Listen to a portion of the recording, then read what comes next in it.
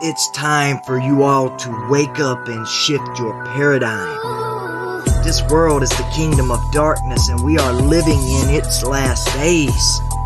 It won't be long before the day of the Lord will come like a thief in the night. The heavens shall pass away with a great noise, and the elements will melt with fervent heat, and the earth and everything therein shall be burnt up. The Luciferian elite have been setting up the New World Order, and now they've established the globalist beast system for the rise of that wicked one and revealing of the man of sin who comes after the workings of Satan. Don't take my word for it. Read the Bible, and you'll know that perilous times shall come in the last days. And we are in the last days.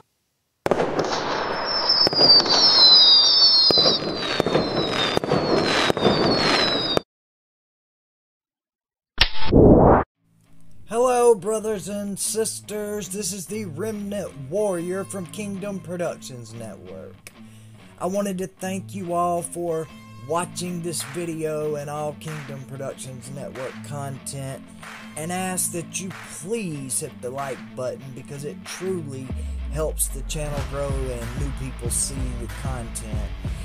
And if you aren't already subscribed, please consider hitting the subscribe button and the notification bell so that you'll know each time we upload new content. Grace and peace. Tonight we are going to be dealing with a really, really important subject, but also I've got, I'm telling you, I really have an amazing revelation for you guys. I, uh,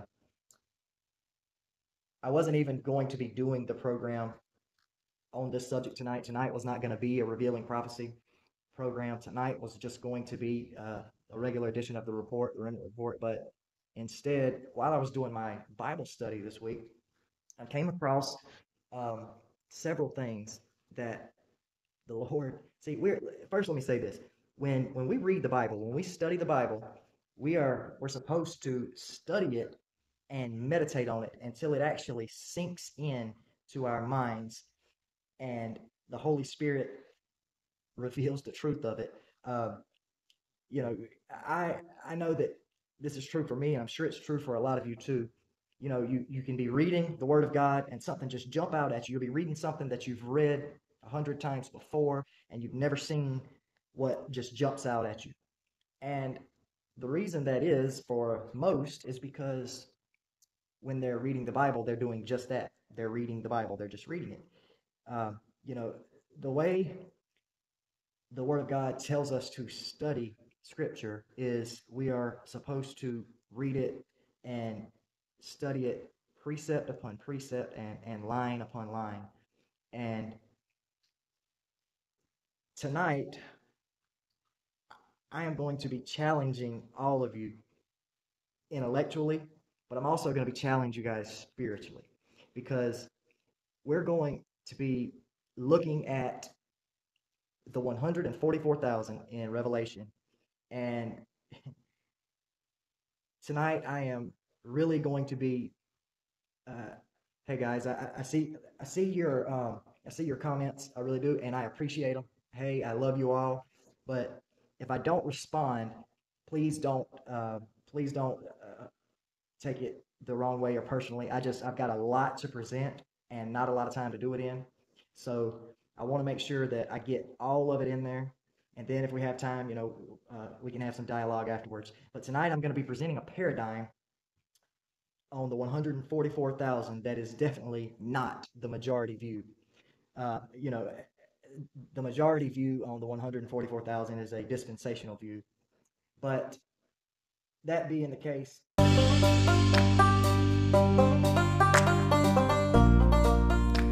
Kingdom family, before we jump into the 144,000, allow me to tell you guys about the new Kingdom Productions Network store. We have got the new Remnant Watchman's t shirt, as well as the new Remnant Report t shirt, and much, much more. So check out the store.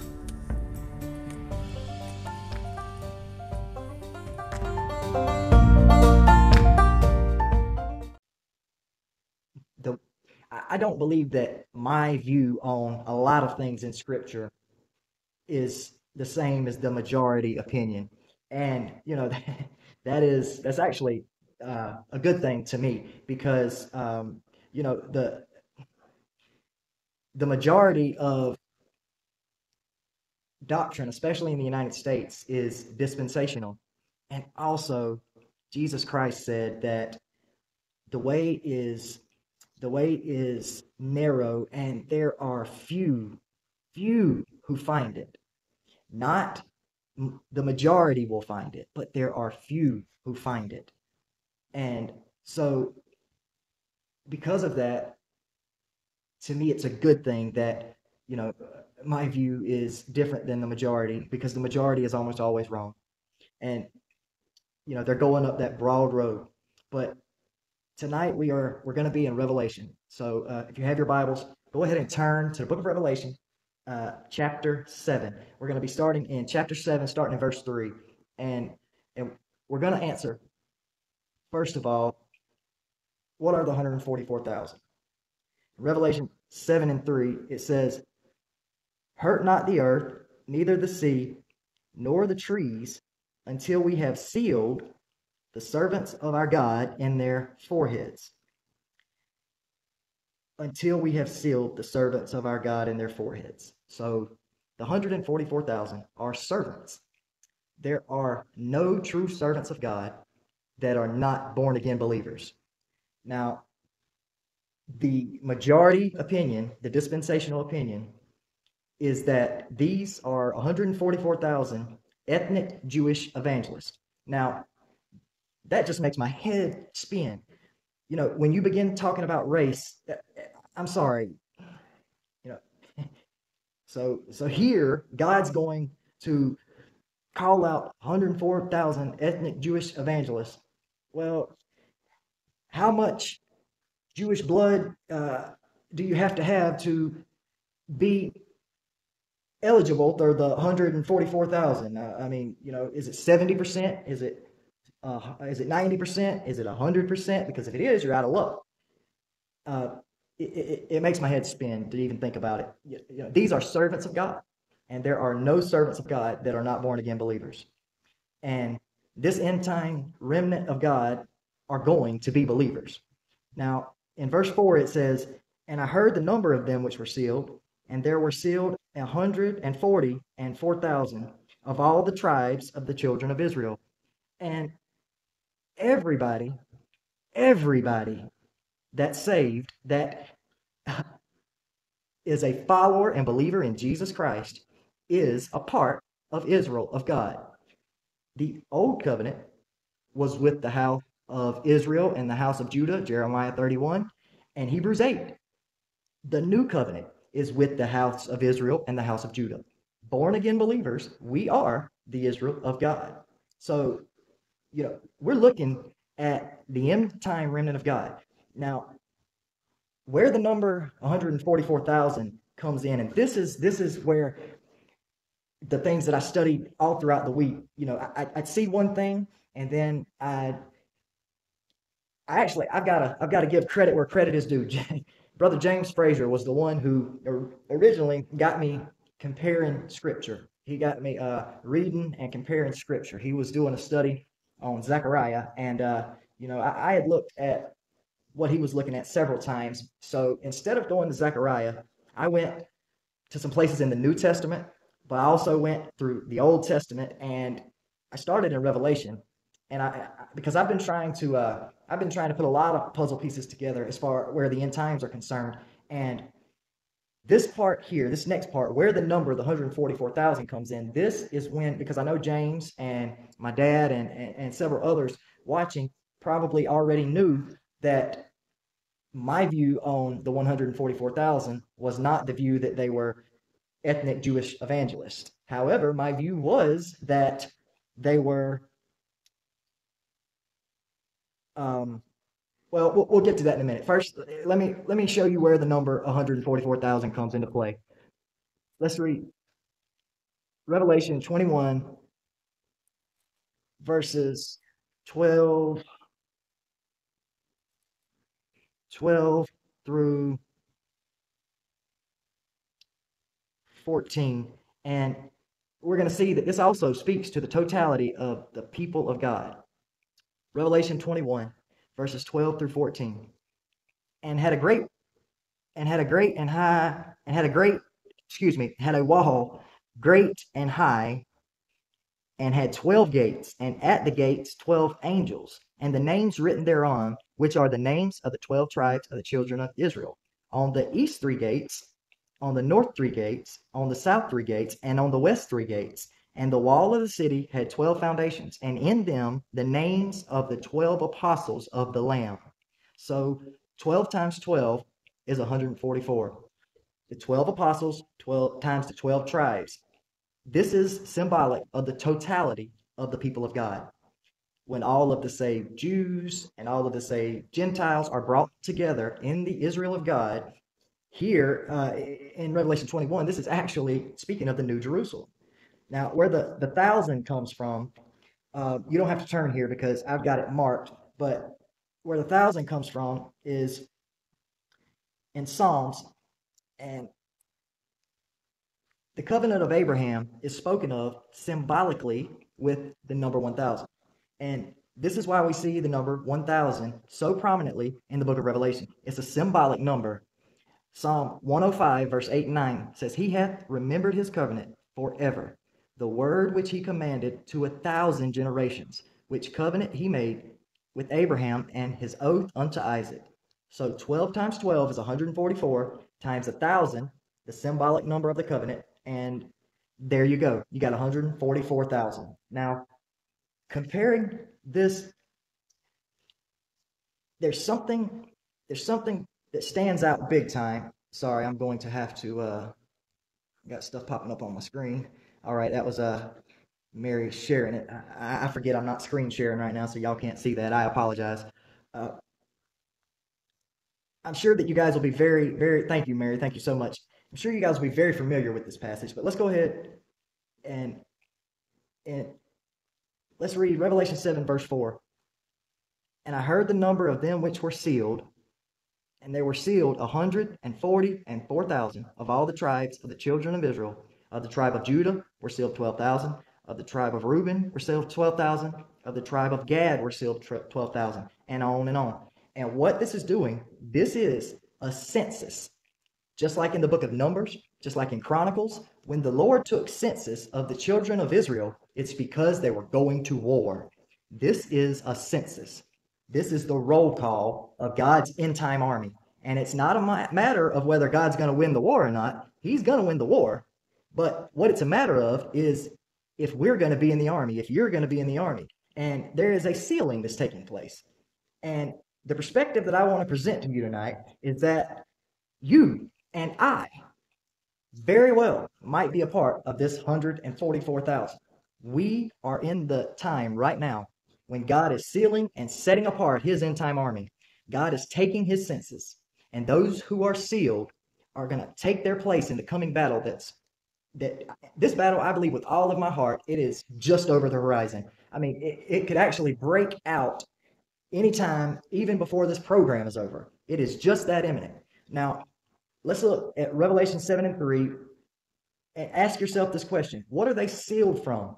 And the sealing means protection. We're going to talk about what the seal is in just a few minutes, but we're going to ask what are they sealed from? Because we don't want to miss this. Revelation 7 and 3 saying, Hurt not the earth, neither the sea, nor the trees, until we have sealed the servants of our God in their foreheads. And what we see here is God holding back the judgment. He's holding back the judgment until his servants are sealed because the sealing is the protection. And right now, like I said, the sealing is going on. He's taking the census of his soldiers and people are either going to step up or they're going to step back. Now, let's go to Revelation chapter 8, and we're going to see why you want to be sealed, why you would like to be a part, and why you want to be a part of the sealing and be sealed and be part of the end time army. And we're going to look here in Revelation chapter 8. And and and, and see, I believe that, that Revelation chapter 8 is the place where the restrainer is removed. And I don't believe the restrainer is the Holy Spirit that's popularly taught in churches today, but I believe the restrainer is the Archangel Michael. And in Revelation chapter 8, the, re- the restrainer, he's going to be removed and it's going to be game on. We see in Revelation 7 that God was, I mean, he was holding back and he is holding back the four winds until the servants of God are sealed. But when God's end time army are sealed, the restrainer is going to be removed, and those who are not sealed are going to be in a lot of trouble because this is what's going to come down. Verse 7 of Revelation chapter 8 says, The first angel sounded, and there followed hail and fire mingled with blood, and they were cast out upon the earth, and the third part of the trees were burned up, and all the green grass was burned up. He's going to hurt the earth, and he's going to hurt the trees. Verse 8 says, And the second angel sounded, and as it were a great mountain burning with fire was cast into the sea, and the third part of the sea became blood. He's going to hurt the earth, he's going to hurt the sea, he's going to hurt the trees. And God's people, God is purposely holding this back right now until his people are sealed. But you see, the, the, what we want to appreciate is that, that God isn't going to wait until he gets a huge army, a whole bunch of people, because he's going to win the, the war regardless. But but like I said, it, it, it's not a matter of whether he's going to win the war. It's a matter of whether we're going to be in the army. Now we're going to look at Revelation chapter nine and verse four, and this is the difference we see here in Revelation nine and verse four. The difference between the sealed and the unsealed in the Great Tribulation, and you know, I uh, believe with all my heart. I, you know, I am a hardcore post-tribber. I am uh, you know, I, don't, I don't like to uh, argue with people who who disagree, and I try to be gracious, but I believe this very strongly. I firmly believe it. There's not a shadow of a doubt in my mind that this is true and that God wants people warned. You know, He wants people. This is what I want you guys to consider. This 144,000 ethnic Jewish evangelist, that is wrong because if you believe that, and you're not an ethnic Jew, then you might not think you're going to be a part of this. But I'm telling you tonight, it's not about your race, your color. It is about whether you are the sealed of God and going to be in this end times army. And we're going to talk tonight in just a few minutes about what it takes to be a part of this end times army and become the sealed of God. Revelation 9 and verse 4, it says, And it was commanded them that they should not hurt the grass of the earth neither any green thing, neither any tree, but only those men which have not the seal of God in their foreheads. You see, when the pit is opened in Revelation 9, if you've got the seal of God upon your forehead, you'll be protected from these chimeric, uh, demonic creatures, entities that come out of the pit. See, you want to make sure you're sealed because if you are not, then you're going to be at the mercy of these demonic creatures. Now we're going to turn over and look at Revelation chapter 16. And, and all through the book of Revelation, we see that having the seal of God, this is what's going to give us supernatural protection through the Great Tribulation. You know, in Revelation 16 and 2 said, and it says, and the, the, the first the first went out and poured his vial upon the earth, and there fell a noisome and grievous sore upon the men which had the mark of the beast, and upon them which worshipped his image, which worshipped his image, not shipped, worshipped his image. Now, Revelation chapter 16 is talking about the vials. We read just a little while ago in Revelation 7 and Revelation chapter 8, and Revelation chapter 8, it was the seals. And in Revelation chapter 16, it is the vials. Now, we're talking about supernatural protection for God's end time army by being the sealed of God. And I'm going to tell you something. This is answering the dispensationals, their doctrine. This is answering the question. There's a question that was raised in Revelation chapter 3 and verse 10 and it, it's talking about the Church of Philadelphia. And I always wondered, uh, guys, somebody just said in the chat, I don't know if you can see it or not, not in the, the Remnant Report chat. I, I haven't seen any from there, but in the, the Deception Report chat, somebody just said they can't get the video to play. Uh, if Mary, maybe if you can, you can um, see what's going on. If not, you know, maybe they'll be able to watch the replay. But in Revelation chapter 3 here, in the church of Philadelphia, and I've always wondered about this, it was amazing to me how this this revelation that the Lord showed me, that the Holy Spirit showed me in the Word of God, answered the question that I had, the only question that I had in my mind about the pre-trib rapture was because of what dispensationalists say about Revelation 3 and, and the Church of Philadelphia in, in Revelation 3 7. And, you know, it says, Because thou hast kept the word of my patience, I will also keep thee from the hour of temptation, which shall come upon all the world to try them which dwell upon the earth. This is how we're going to be kept by having the seal of God upon us. Now let's look at a few scriptures and see very specifically what the seal of God is. First, let's look at 2 Corinthians chapter 1 and verse 22. 2 Corinthians 1 22. Who has also sealed us and given us the earnest of the Spirit in our hearts. And the, the Holy Spirit is the seal. And that word, that word earnest means like like a, a payment, a down payment, you know, like like earnest money. It's it's a down payment until you get the, the whole piece of land. Um, th- there's also a scripture that we need to to consider in, along with this one. And we understand that the Holy Spirit is our seal, but there is a warning in Ephesians chapter 4. I think, give me just a second. Yeah, Ephesians chapter 4. Uh, in Ephesians 4, in verse 30, and grieve not the Holy Spirit of God, whereby ye are sealed unto the day of redemption. There's a warning there for us not to grieve the Holy Spirit. That because the Holy Spirit seals us, and and the implication there is that we might lose a seal, blow a seal, and we might we might come to the place where we go from being under the protection of God to going out from under the protection of God. And you know that actually goes along perfectly with what tonight's program was originally going to be about. And next week, next week I am definitely going to have the program on salvation and I may even do a Saturday program. It's been a long time since I've done a Saturday program, so we'll see. We'll see how it goes. But the best passage that talks about what it takes to be sealed is from the words of Jesus and the doctrine of Christ.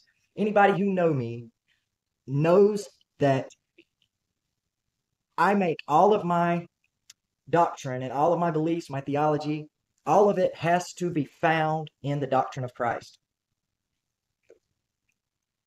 And friends, that is what did it more than anything for me with this here, this revelation, because it's actually found within the doctrine of Christ. First of all, Christ himself was the one who was speaking to the church in Philadelphia, and the book of Revelation is the revelation of Jesus Christ. But we're going to see more than that. We're going to go to the book of John, chapter 3, and verse, uh, give me a second, verse 31. And the scripture says here, He that cometh from above is above all, and he that is of the earth is earthy, and speaketh of the earth. He that cometh from heaven is above all. Now look at verse 33. And, and this is talking about Jesus coming down and speaking to us when he was incarnated at, at Bethlehem and became fully God and fully man and lived a sinless life and died on the cross for our sins. But look at verse 33. He that hath received his testimony hath set to his seal that God is true. And when we, when we receive the testimony of Jesus, we set to our seal that God is true. And and and anybody that knows me, I've, I've said it once, I'll say it again. They know that I am all about the doctrine of Christ. Everything I believe is determined by what Jesus said. In Second John 9, Jesus says, well, actually, John said it If any man hath not the doctrine of Christ, he's not of God. Don't receive him into your house. And you can know one thing whenever you disagree with something Jesus said, you're going to be wrong and not him because he came from heaven to testify those words of the Father. And when we believe him, when we trust what he said and when we place our faith in what he did on the cross and we keep it there, we set to our seal that God is true. Let God be true and every man a liar. Now, how do you know if you're sealed? Well, I'm going to tell you. Let's go. There's a parallel here. Let's go to Ezekiel chapter 9 and verse 4. And this is how you're going to know if you're sealed of God. And there's a historical parallel here that, that took place in 586 BC when, when God brought judgment on the, the nation of Israel. And at that time, as always, God spared the remnant. It's never about the masses. The judgment always falls on the masses, but it's always about the godly remnant that godly bring that God brings through the judgment safely. And this is what God's concerned with now in with the the end times. God is taking a census and he's he's sealing people for his end time army. He wants he wants to know how many he can count on. He's giving people assignments. He's giving people specific instructions through the Holy Spirit. He's developing relationships. You know, he's putting people in specific locations for what is coming. Mary and I, and Tori and James, and a few others in October, the end of October, on the devil's favorite night. Well, actually, starting on October 30th, we're going to have the Remnant Survivalist Retreat. We're going to be getting together. We're going to be training God's end time remnant. And we're also going to be coming together and we are going to be worshiping, praising the Lord, and kicking the devil in the face on Halloween. But now let's look in Ezekiel, in Ezekiel 9. You know, this is this is what happened when Jerusalem fell. And he said, He cried also in mine ears with a loud voice, Cause them that hath charge over the city to draw near, every man with his destroying weapon in his hand. And behold, six men came from the way of the higher gate, and every man had a slaughter weapon in his hand.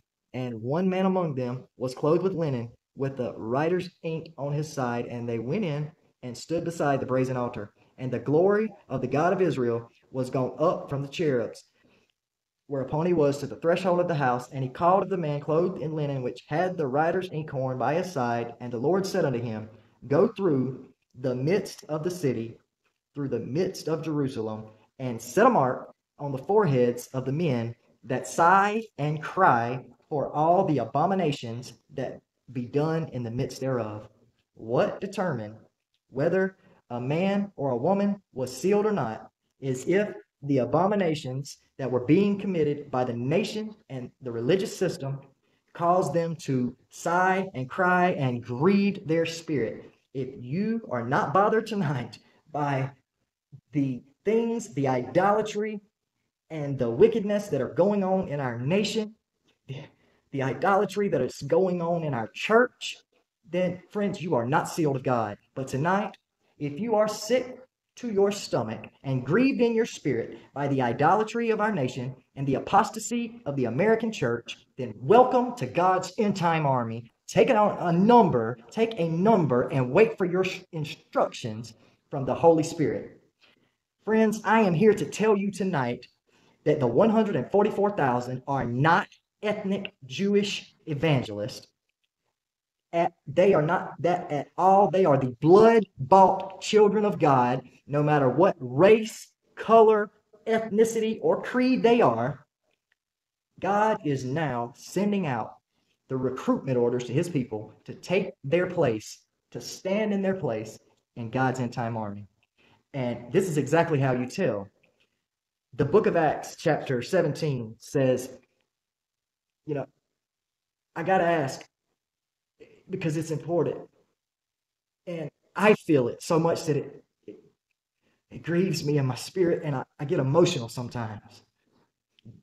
And Sometimes I, I talk with people, people I'm close with, and all they can think about is who's going to win an election or who's rioting over here, whether whether our whether our government is going to be capitalist or socialist. When we should be grieved in our spirit by every ounce of it. Capitalism is the love of money. Socialism is just the other side of it, and they're both idolatry. If you are in the kingdom of God, you should be focused on the kingdom of God. And you have a constitution that you need to worry about. It's right here. This is our constitution. Our government was is set up, and our king is Jesus Christ, the Lamb that was slain before the foundation of the world. And that's who I follow. For those who can't understand it, I, I am sorry. I love you, and I will agree to disagree with you, but it's not me that you have to agree or disagree with. You have to decide are you going to be marked and sealed of God or not? If it doesn't make you sick when they have the naked cowboy up at the Hillsong churches, if it doesn't make you sick that these 501c3 churches like Joel Osteen's church and the Bethel Church in Redding, if that doesn't grieve your spirit, if it doesn't grieve your spirit when they light up the towers in New York for the abortion, the colors for abortion, to kill the innocents, if that doesn't grieve your spirit, friends, then you are not in the army of God. I can remember I can remember a time when none of that bothered me. I could care less about it. I didn't even think about it to care about it. But I thank God that He has changed me from the inside out and changed my priorities and filled me with His Holy Spirit. Now let's go to Acts. Now, it says here, while Paul waited for them in Athens, his spirit was stirred in him when he saw the city wholly given to idolatry. His spirit was stirred at idolatry. Now, this, friends, this is what really, really troubles me. Pay attention. Most people that attend churches in America, they aren't bothered by idolatry a bit. They are not bothered a bit. It doesn't matter to them. And of course, Freemasonry is an obvious example, which it's so obvious to me that every Freemason is an idolater. Every time they go in the lodge, they open and close in prayer to a God that's not the God of the Bible. And the American churches, they need a news flash. Idolatry is still a sin. The people that have the Holy Spirit in them, they still get sick to their stomach and they they still are grieved in their spirit when they see idolatry. God said, have no other gods before him. And that still holds true tonight. It still holds true that God's people that receive the seal of the Holy Spirit, and when the Holy Spirit is in you, you will be grieved by idolatry because God said, Thou shalt have no other gods before me. So are you stirred tonight? Are you stirred and are you repulsed with what's going on? With the pedophilia, the abortion, the idolatry, the putting country before God. If you are stirred in your spirit, if the Holy Spirit has grieved you, then step up and take a number. There's a scripture that truly frightens me. It, it's it's in Ephesians chapter 4, verse 18 and 19, and and I, I truly fear that this the scripture applies to far too many in the American religious system. Ephesians chapter 4, verse 18 and 19. And, and it describes the person that is religious, but yet has totally lost the relationship with God. In Ephesians chapter 4, 18, having the understanding darkened, being alienated from the life of God through the ignorance that is in them, because of the blindness of their heart, who being past feeling. Now, that's what really scares me. They are past feeling. They are they are not moved and grieved at the abominations. They cannot feel a holy stirring in their heart for idolatry. It does not bother them because they're past feeling. Somewhere along the line, that tenderness of their heart has gone hard. The convicting power of the Holy Spirit that once bothered them when they sinned, that's gone. They're past feeling. They're not bothered by Mason pastors. They're, they're not bothered by the pagan holidays. They're not bothered by anything because they are past feeling. And That's a very, very frightening thing. You know, so many things come to mind when thinking about the 144,000 or and even the Masons, the, the, the dispensationalists, the Masons, the the the teachings of 40,000 some odd dispensational churches that that teach that only ethnic Jewish evangelists will be the sealed of God in the 144,000. Then you've got the Jehovah's Witnesses that think that only they will be the 144,000. But then you, you, you read the scriptures and you go line upon line, precept upon precept. You prove everything by two or three witnesses. There is no mistaking who the 144,000 are. And it grieves my heart to see these people tossed to and fro, to and fro by every wind of doctrine. I, I knew a couple. Actually, I didn't know a couple. Uh, uh, a friend of mine was telling me about a couple who were on fire for the Lord. They were exposing things left and right, telling truth, and then they just fell away. They, they, they just went completely liberal. And, and I'm not talking Democrat, Republican, Republican, uh, po- politically liberal. I'm talking lib, uh, liberal mindset to where, where people are okay of homosexuality in the church, and they were, and all these abominations that that are all around us here in America. And I understand how and why people can believe the dispensational doctrines of devils, and that's what they are. The devil, any, let me tell you something, friends. And, and, I have dispensational friends, and I love them, and I believe they love the Lord, but that doesn't change the fact that they're deceived. And any doctrine that is not from God, by definition, is from the devil. So it's a doctrine of demons. I'm sorry, it's the way it is. And I understand the way that they can believe these lies. It's because they do not study the Word of God for themselves. That is so important. It's important to forsake not the gathering together amongst ourselves, and which is going to church and fellowshipping with others and, and coming together and serving and worshiping God in spirit and in truth. That is important. But you, no matter how much faith you have in your pastor, you should never take his word for what the Bible says or what it means. Don't take my word for anything I'm saying here tonight. If you were not able to follow along in the word of God with me, because I was going kind of fast, if you weren't able to follow along, I pray that you at least wrote the scriptures down and went back, and, and so you can go back and read them for yourself. Do not listen to any man when it comes to doctrine because your doctrine, the way you believe about the Word of God, will decide where you're going in eternity. If you have been taught wrong about salvation, then you may very well wind up in hell. If you were taught wrong about the tribulation, the rapture, the 144,000, then you may very well find yourself in the great falling away because you've lost faith, because everything you've ever heard is a lie and you see it in front of your face.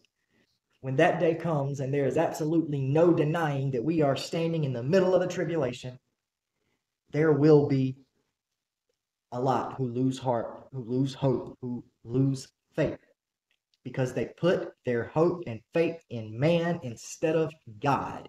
They put their faith in their pastor instead of the Word of God and the Holy Spirit.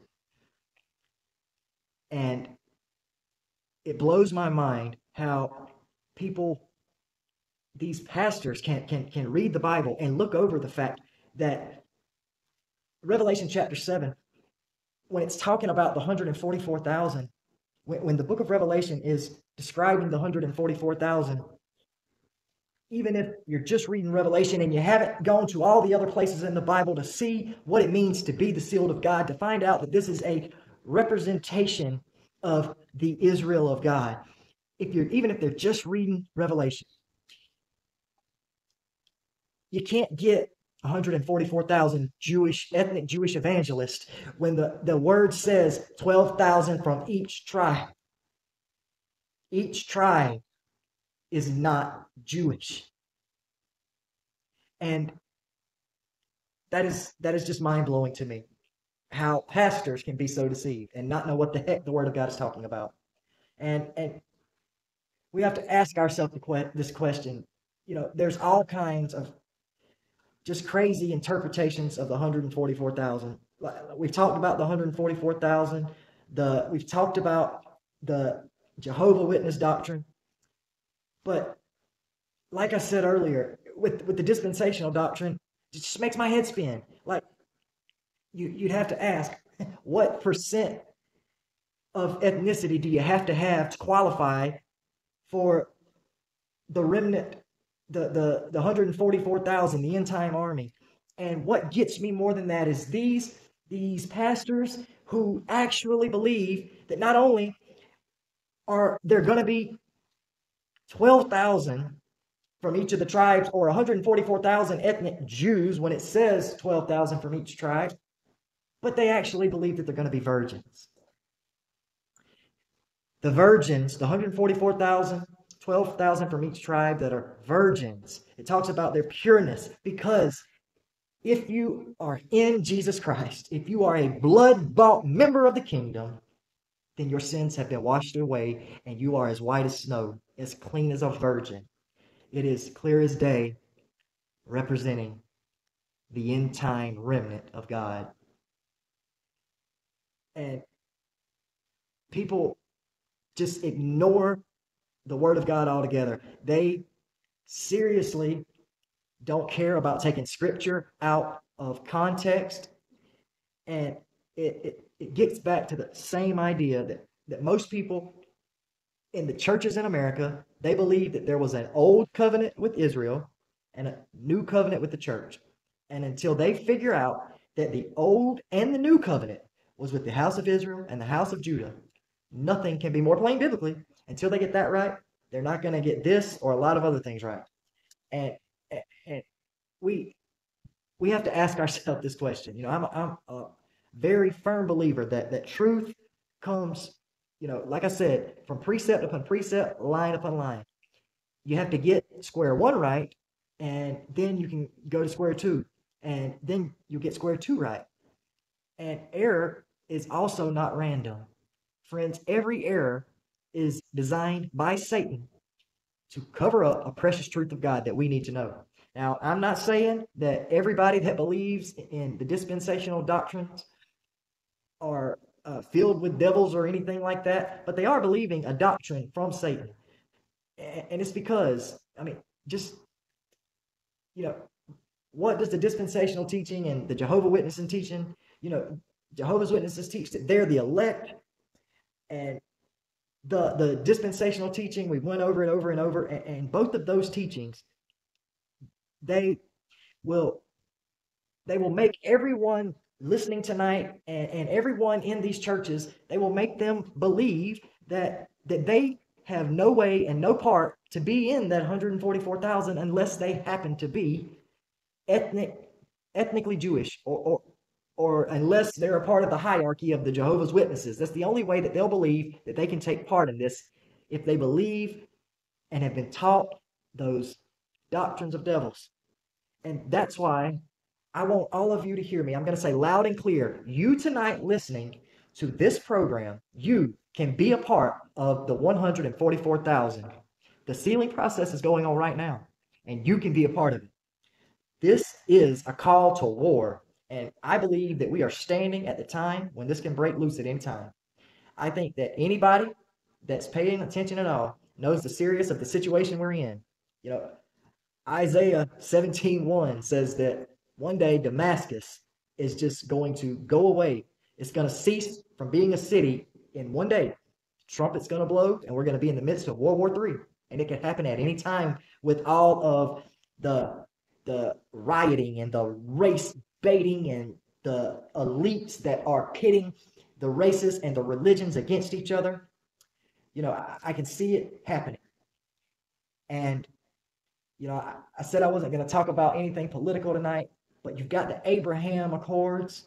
Friends, if you cannot see that the Abraham Accords are prophetic, then you're blind. I love you, but you're blind.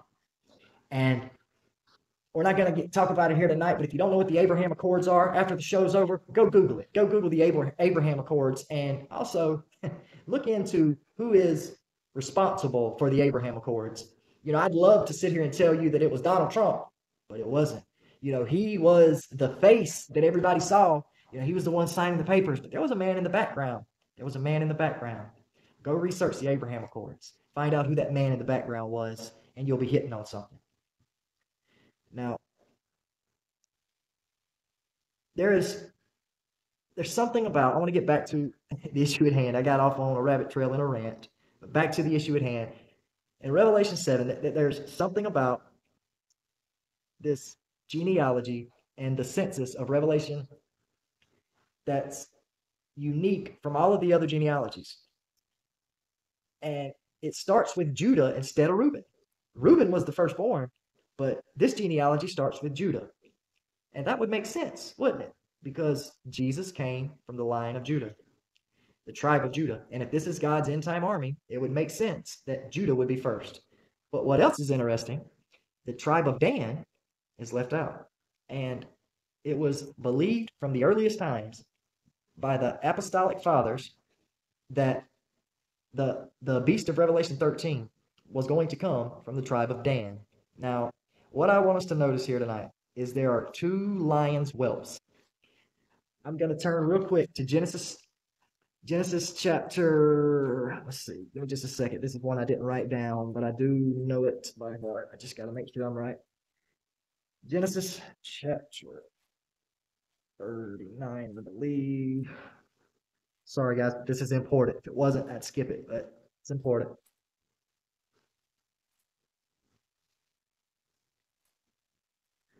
All right. And, you know, there are many, like I said, the, the, the early church fathers believed that the beast of Revelation 13 was going to come from the tribe of Dan. And I have also thought this from time to time. I've, I have, uh, I've had other theories and other beliefs, but the fact that he, he could come from the, the tribe of Dan has, has always been in the back of my mind. And you know, I did a pro- program a few weeks back about the Antichrist, and I made no secret of my beliefs that uh, President Trump was the best candidate for the Antichrist. But I'm going to tell you something. I've been doing a lot of studying since then because I, I never said that the man was. I said that, in my opinion, he was the best candidate. But as I've studied and prayed, I believe that he's got something to do with it. But just remember what I was saying earlier about those Abraham Accords and the man in the background. And let's look and see if the tribe of Dan could possibly produce the beast of Revelation 13. And, you know, I've heard I've heard Gary Wayne actually. Gary Wayne was the first person that I heard talk about this, and and Gary Wayne actually connected connected this with the Priory of Sion. And for those of you who don't know what the Priory of Sion was, it, it was it was a secret society uh, in that had to do with the, the Roman Catholic Church and the Jesuits. And Gary Wayne was the first person I heard talk about it. But in Genesis chapter 49, in verse 9, it says, Judah is a lion's whelp. And Judah is a lion's whelp. And I pray, my son, and he's crouched as a lion, and as an old lion, who shall rouse him up. And Judah, which is the first variation is a lion's whelp. But we're going to look at Deuteronomy. And it's, and it's interesting that the other lion's whelp is the other unique thing about this unique thing in the genealogy in Revelation. It begins with, with Judah instead of Reuben, and it leaves out Dan. And in Deuteronomy 33 22, the scripture says, and of Dan, he said, Dan is a lion's whelp. He shall leap from Bashan. shine. Now, I want to read you guys something from Irenaeus. Irenaeus was an early church father, and he he had a pretty a pretty good spiritual heritage. Irenaeus was taught by Polycarp. Polycarp was a disciple of the apostle John who wrote the book of Revelation. So we have here in Irenaeus, we've got an apostle of the man who was taught, I mean, excuse me, a disciple of the man who was taught by the apostle John, John the Revelator. And he's going, Irenaeus is going to give us an interpretation on Jeremiah 8:16. And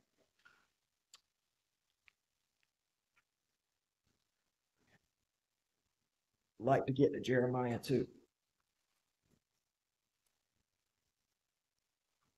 I want to read Irenaeus and Jeremiah if I can. If not, I'll just read Irenaeus in, in interpretation.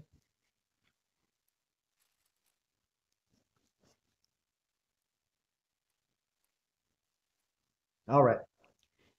It's uh, Jeremiah 8 and 16. It says, The snorting of his horses, horses was heard from Dan. The whole land trembled at the sound of the neighing of the strong ones, for they are come and have devoured the land and all that is in it, the city and those that dwell therein. Now, this is the interpretation of Irenaeus. He says, When they shall say, when sudden destruction shall come upon them. And and Jeremiah does Jeremiah does not only talk about his sudden coming, but he even indicates the tribe from which he shall come. He says, When when you shall hear the voices of the, the swift horses of Dan, the whole earth shall be moved by the galloping horses. He shall also come and devour the earth and the fullness thereof, and the city also, and they that dwell therein. This too is the reason that this tribe is not reckoned in the apocalypse along with those who are saved. Now, Irenaeus says, listen to this. Irenaeus says, this is why the tribe of Dan is not reckoned along with those that are saved. He didn't say along with the Jewish evangelist. He said along with those who are saved. Now, the very next verse in Jeremiah 8 17. And guess who's back? The next verse after the scripture that Irenaeus said that the Antichrist would come from the tribe of Dan, he says, For behold, I will send serpents, cockatrices among you, which will not be charmed, and they shall bite you, saith the Lord. And not everybody knows, but a lot of us know that watch the remnant report that the cockatrice is the basilisk. And here we have the promise of God that he is going to send a basilisk among the people for judgment, that they would not charm them, that they would be bitten and die. Remember in Revelation chapter 9, we talked about and saw the basilisk and, and or these these chimeras, these, gen, these genetic mutations that would come out of the pit in Revelation 9, and remember Revelation 9 and 4, it, it, said that only those that did not have the seal of God in their foreheads, only them would fall prey to these chimeric beasts in Revelation 9.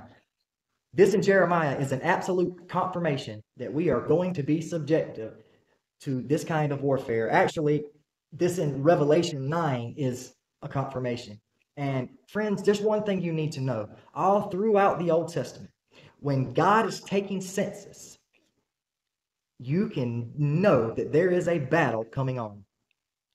And we are coming up on a war that we are we want to be sealed for. Trust me, you do not want to miss out on the supernatural protection of the sealing of God.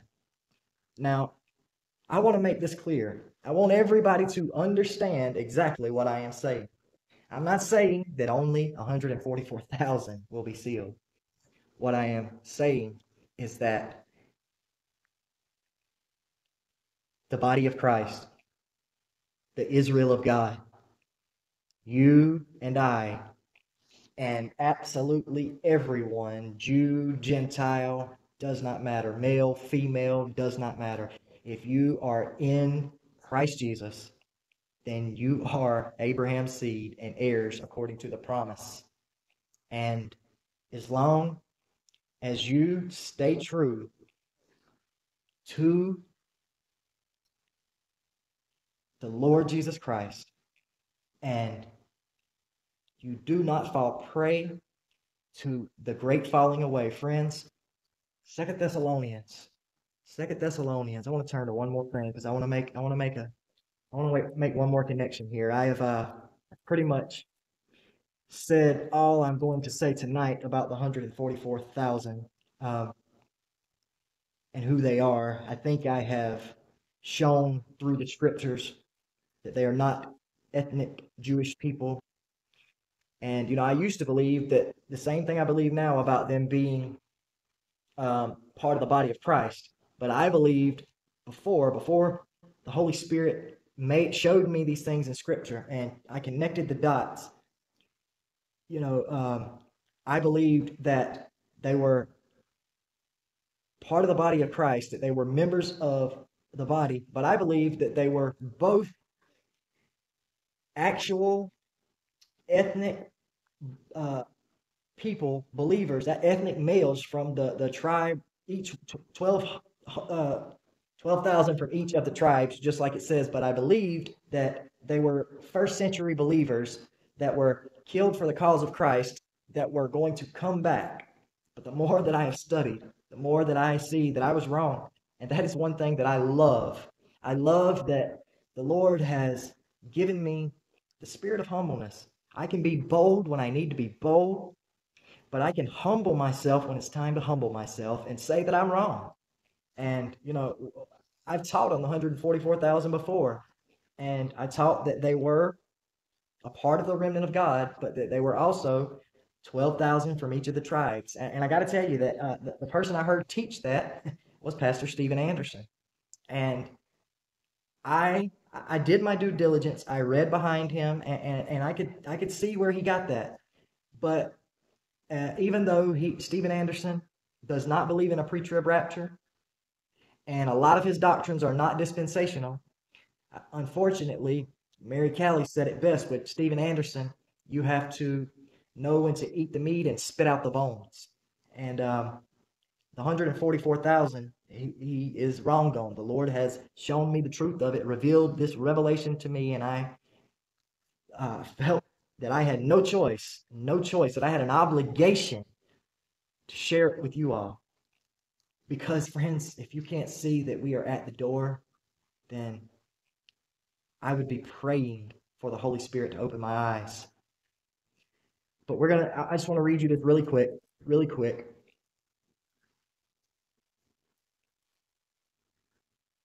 It says here, Now we beseech you, brethren, by the coming of our Lord Jesus Christ, and by our gathering together unto him, the harpazo, or what people like to call the rapture, that ye be not soon shaken in mind, or be troubled neither by spirit, nor by word, nor by letter, as from us, as that the day of Christ is at hand. Let no man deceive you by any means, for that day, and this is what I want you to hear, for that day shall not come, except there come a falling away first before the man of sin is revealed, because that's what the next line says, and that man of sin be revealed, the son of perdition. But I want you to hear this. Let no man deceive you by any means, for that day shall not come except there come a falling away first. Falling away to the Antichrist spirit. You know, I played on on YouTube, I played a video that I made with different David Wilkerson clips and also pictures that were taken of actual weather events, lightning, tornadoes, supercell thunderstorms off of hurricanes that were actually made by weather modification when the two hurricanes came together and hit the coast of you know, our Gulf Coast and went up directly through our food supply. You know, if that wasn't weather warfare, then friends, I, I would rather believe it was weather warfare because if it wasn't weather warfare, then it was God Almighty. And we're that much closer. And this scripture means that much more. The great falling away must come first. You have a choice to make. It does, I'm talking to believers and non believers alike, but mainly right now, I'm talking to those who consider themselves a part of the body of Christ. Friends, saying a prayer like it was magic words one day in a church building or at home alone does not, by any means, guarantee you a place in the kingdom. We'll go over that in full next week. But right now, I want you to hear this and consider these words. There can only be a falling away if you can make a choice to either follow Christ and be a part of the remnant or go along with the apostasy and the idolatry that's happening right now. It's in churches in every state in the country and every country in the world. There's idolatry and apostasy. The churches in America right now, they're shut down for the most part, been deemed non essential. I want you to ask yourself a question. And the question's not should the churches be open or should you go to church or stay home? The question you should ask yourself is why is God allowing it to happen? He's allowing it to happen because he is not happy with the way the church is being run here in America. Now, we're not under judgment yet. God has not started judging this world, but we're at the door, and absolutely everybody that is alive will go through it. It's only a matter of whether you're going to go through it as a sealed, blood bought member of the army of God, the remnant in time army of God, or you're going to go through it as one who there's either going to be one or two things. You're either going to be a believer, but you're not going to be marked by the Holy Spirit to be a part of the end time army of God. And you're going to be one of those who has to stay faithful unto death and die during the tribulation, or you're going to be lost, take the mark of the beast, and you're going to be tormented by these chimeric entities, and then find yourself thrown in the lake of fire with the beast and the false prophet. I don't know about you, but I want to be a part of the end time army of God. If these things truly do not bother you that's going on in this country, or if you're more concerned about politics than you are about the kingdom of God, then, friends, I'm praying for you. But I would suggest that you pray for yourselves. I would pray to hear the voice of the Holy Spirit. I'd pray for that grieving. I would beg for it. Because the Bible is not wrong. The Word of God says that God be true and every man a liar. So it truly does not matter if you believe you're right and I'm wrong. It's not about me. I'm a man. I could be wrong just as easy as you. It's about this, and it's not wrong. The Bible says, the Bible says right here again in Thessalonians. It says, We are bound to thank God always, brethren, as it is it is meet, because that your faith groweth exceedingly, and the charity of every one of you all toward each other aboundeth, so that we ourselves glory in you, the churches of God, for your patience and faith in your persecutions and tribulations that ye endure, which is a manifest token of the righteous judgment of God, that ye may be counted worthy of the kingdom of God, for which ye also suffer. So you're either going to be counted worthy or you're not. But this is going to be the righteous judgment. God is a righteous judge, He does not make mistakes. And friends, the church in Thessalonica is a far cry from the church of the United States of America. I don't care what denomination it is. I can assure you that the churches in the United States of America doesn't have their faith growing exceedingly. They don't have charity that aboundeth towards each other. We can't glory ourselves in the churches for their patience and faith because it's not there. So tonight, let's be grieved in our spirit for the abominations and the idolatry in this world, but let's be grieved in our spirit for those who are on their way to hell. Let's be grieved in our spirit for the lost souls. Friends, who did you tell about Jesus Christ today?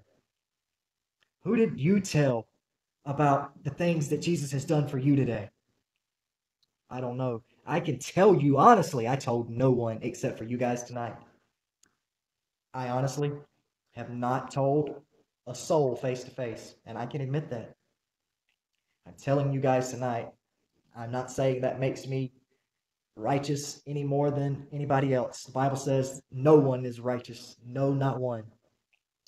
My righteousness, your righteousness comes through the blood of Christ and his sacrifice only. We have this wicked flesh on us. But we have the Spirit, the Holy Spirit that Jesus Christ himself had. I read through the book of Acts today. Oh my goodness. The fire that is going through me right now came from my study and my fellowship with the Holy Spirit reading the book of Acts. I want so badly to have that spirit that Jesus Christ himself shed and gave unto his apostles his disciples. He literally shed the Holy Spirit down to them when he ascended. Read the book of Acts for yourself.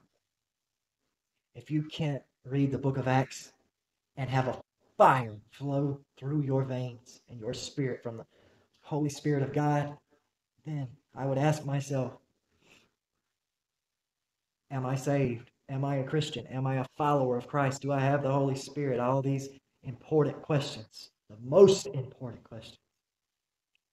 And friends, I'm going to challenge you, and I'm going to challenge myself tomorrow to tell somebody about Jesus Christ and what he's done for me. And I challenge you to do the same. And I challenge you to let them know also how close we are to the end.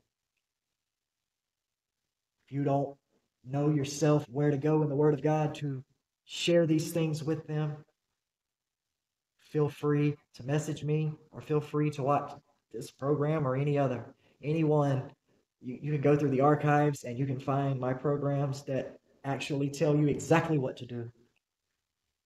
But if you don't have time to go through all that, hit me up on Messenger. I'll be glad to help in any way I can. Guys, that's going to do it for this edition of the Remnant Report. I love each and every one of you. I'm going to close in prayer. And that's going to end the program. Dear Heavenly Father, I come before you now, Lord.